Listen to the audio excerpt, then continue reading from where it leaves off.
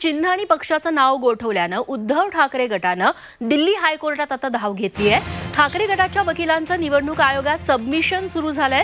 ठाकरे गट निवडणूक आयोगात नव्या चिन्हाबाबत आपलं म्हणणं मांडतंय. निवडणूक आयोग काय निर्णय घेणार याकडे आता सर्वांचं लक्ष आहे. निवडणूक आयोगानं युक्तिवाद करण्यास संधी न दिल्यानं ठाकरे गटानं दिल्ली हायकोर्टात धाव घेतली आहे. चिन्ह गोठवण्याच्या निर्णयाला स्थगिती द्यावी अशी याचिकेत मागणीही करण्यात आली आहे. दरम्यान ठाकरेंना उत्तर देण्यासाठी शिंदे गटही आता सज्ज आहे.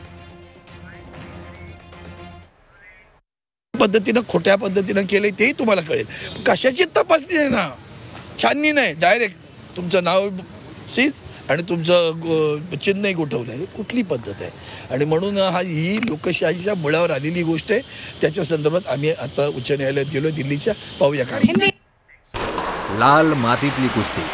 म्हणजे